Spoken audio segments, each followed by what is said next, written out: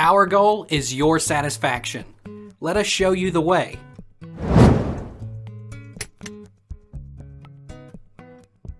Has a narwhal ever killed anyone?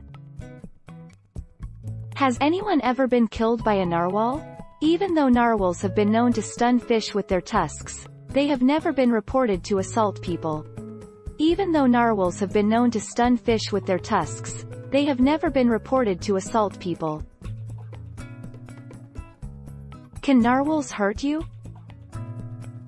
You won't fight. Yes, you have a long tusk growing out of your face. Your tusk, a canine tooth that stretches into a spiral 5 feet or longer, isn't much of a weapon. Narwhal tusks are sensory organs filled with nerves, not dull spears for jabbing at predators or fending off rivals. What's the point of a narwhal horn? Martin Nweeia's investigations, in combination with Inuit observations and traditional knowledge, have revealed that the tusk may be a sensory organ. Narwhals may use their tusks to detect temperature, water pressure, particle gradients, and motion.